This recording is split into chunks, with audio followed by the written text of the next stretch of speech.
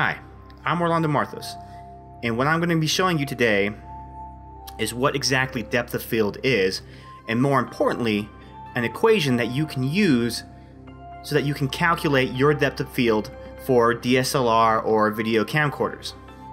Now you may be wondering just what the heck depth of field is. DigitalCameraWorld.com describes it as this. A camera can only focus its lens to a single point, but there will be an area that stretches in front of and behind this focus point that appears sharp. This zone, this area, is what is known as depth of field. It is not a fixed distance, it changes in size and can be described as either shallow, where only a narrow zone appears sharp, or deep, where more of the picture appears sharp.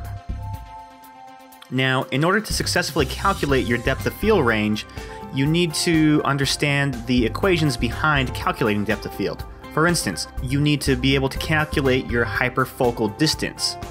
Hyperfocal distance is when you can set your lens focal distance to its maximum distance to create the largest or deepest depth of field. The point in which that occurs is called the hyperfocal distance. Now to calculate hyperfocal distance, the equation is h equals f squared over nc plus f, where h is your hyperfocal distance in millimeters, f is the lens focal length in millimeters, n is the f-stop or f number the F number corresponds to how open or closed the lens iris or aperture is. Now, this is often represented in stops or f stops, such as f2.8, uh, f5.6, f8, f11, and so on. C is a circle of confusion in millimeters. Now, the circle of confusion is an optical spot caused by a cone of light rays from a lens not coming to a perfect focus when imaging a point source. To be able to calculate your near distance of acceptable sharpness, your equation would be dn equals s times h minus f over h plus s minus 2f. And to be able to calculate your far distance of acceptable sharpness, your equation would be df equals s times h minus f over h minus s. s is the focus distance, or the distance that you are focusing your subject to. Once we are able to calculate our near and far distances of acceptable sharpness, this will then allow us to calculate our depth of field by subtracting the two. We'll know exactly how far in millimeters a subject can stray either forward or backwards from the camera and still remain in acceptable focus. Alright, now that we know our equations, we can start plugging in variables. For our lens focal length, we're going to go with a really wide angle lens, like an 18 millimeter. We're going to set our aperture or f number to an f4. I'm going to be making my calculations of depth of field based off of a Canon 5D Mark II camera. Now, the circle of confusion for that is a 0.03 millimeter circle.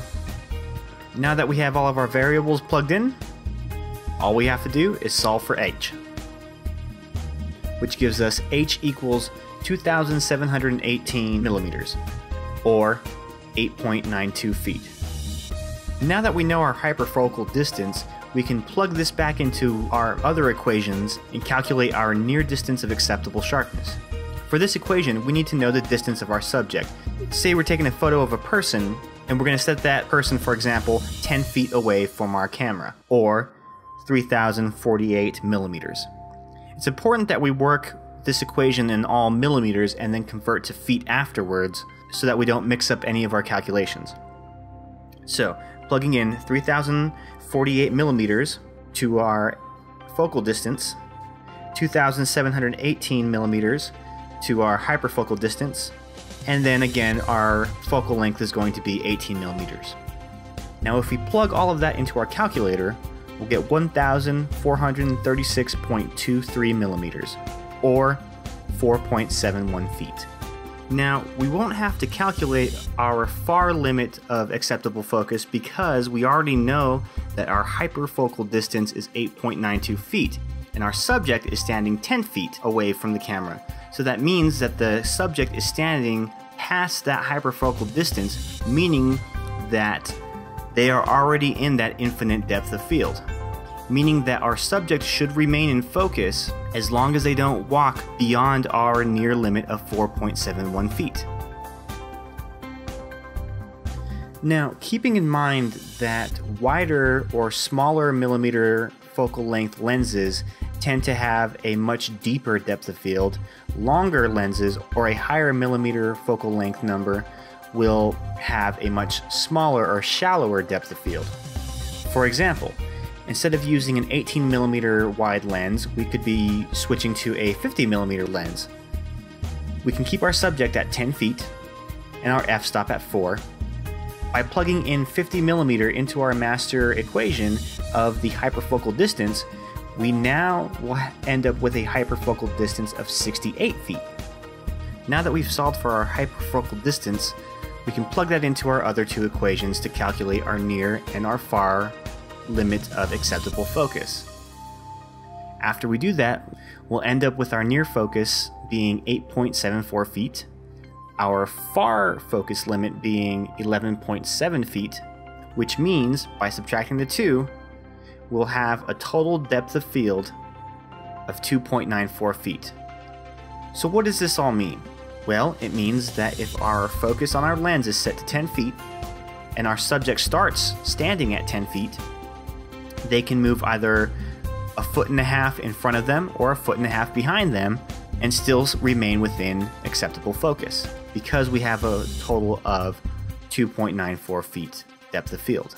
If our subject were to move beyond the limits of that 3 foot depth of field, we would then have to change our focal distance to match it.